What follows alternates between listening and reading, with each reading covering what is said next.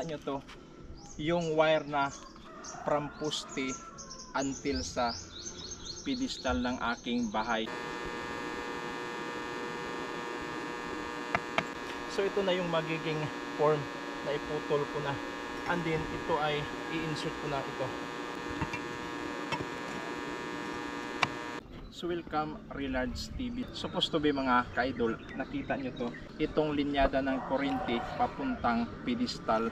So dito na portion ay gagawin kong terrace or balcony. So ngayon, nakita nyo to, yung linyada ng ah, wire papuntang fuste hanggang pedestal ng aking bahay. Halos didikit lang sila kapag ka ito ay pailan ko ng hollow blocks or gumawa man ako ng railing o siding para sa terrace ng aking bahay. So kino itong pedestal na to ay imumove ko to ng 1 feet. Ngayon ay gagamit tayo ng another tubo na gaya kalaki dito sa pedestal na ikinabit ko. Ngayon, ang gagawin natin, ah, ito yung pangdugtong ko dito.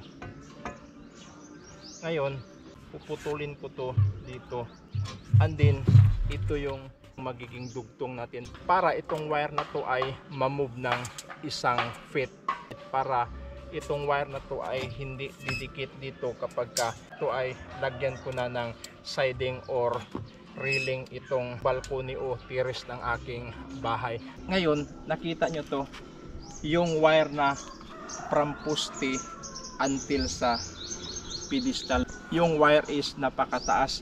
Kapag ka yung wire ay napakataas, lalong bibigat yun. Ngayon, paano ko puputulin itong tubo? Yung isang kamay ko ay humawak ng grinder. And then, yung isang kamay ko ay humawak ng tubo. So, ganito yung posisyon ko. Ngayon, yung bigat o force ng ating wire ay napakalakas. Baka kapag ka ganito yung posisyon ko is mahihila ako sa force o bigat ng ating wire. So anong discarding gagawin ko? Kahit ako lang mag-isa is makayanan ko itong putulin itong tubo. Kahit sobrang bigat ng wire ay hindi niya ako mahihila. Kino nakita nyo itong wire yung wire is napakataas mula sa poste. Kapag ka mataas yung wire is lalo siyang mabigat. So para mawala yung bigat ng wire is lalagyan natin ng kahoy na gaya nito.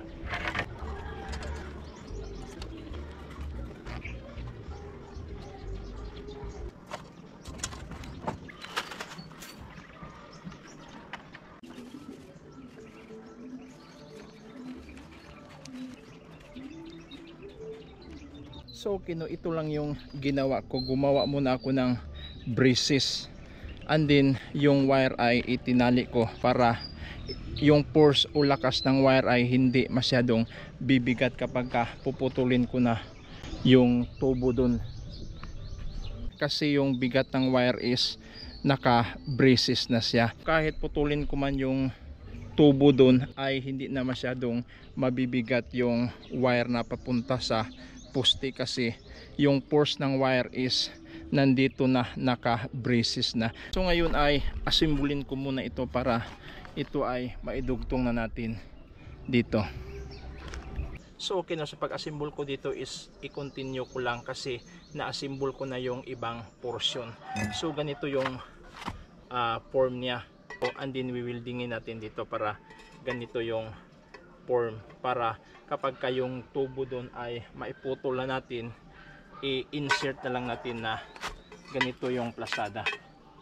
Insert natin. Kasi nakita nyo to ito ay karugtong dito. And then uh, pinutol ko. And then kinatingan ko ng 1 inch dito. Binilog ko ulit and then ipinasok ko dito. Pagkatapos ay ispatan lang natin dito. Hindi natin solidong iwiwild natin kasi doon na natin iwiwild ng solido kapag ka ito ay maidugtong na doon sa pusti ng aking pedestal.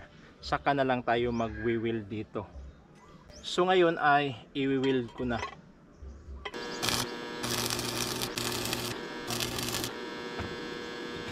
Okay no, tapos ko nang naibuo. Ngayon ay puputulin ko na yung tubo para ito ay ma-insert na natin. So ngayon ay puputulin ko na itong tubo para ito ay maidugtong natin para yung wire is ma-move natin ng 1 feet. Kailangan naka-prepare lahat, preparado na yung welding, preparado na itong pang dugtong natin. Kapag ka hindi ito preparado baka mahirapan ako.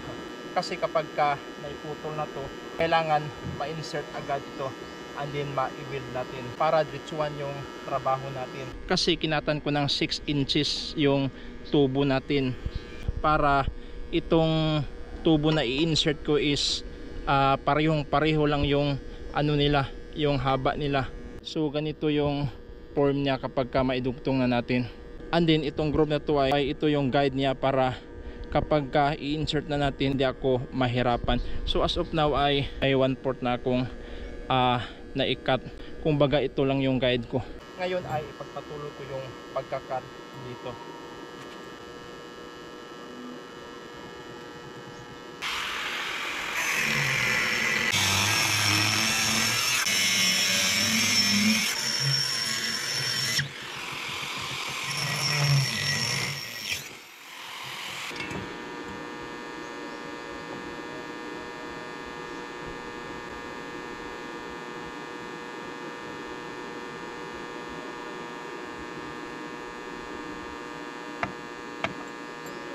So ito na yung magiging form na iputol ko na.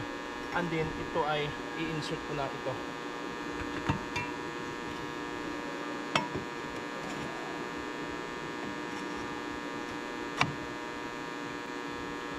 So ito na yung kalalabasan ng ating pedestal na na-move ko para hindi ito didikit yung railings or yung siding ng ating terrace o balcony.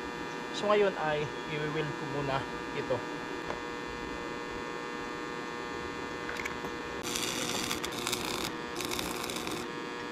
Ngayon ay ipo-full weld ko na.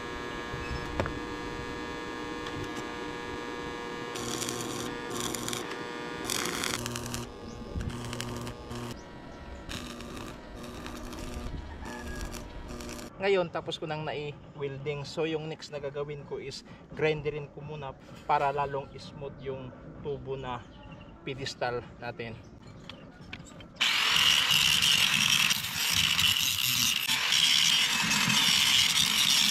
So ngayon ay tatanggalin ko muna yung braces na inilagay ko para ma-declare ko na itong ginawa ko ay tapos na.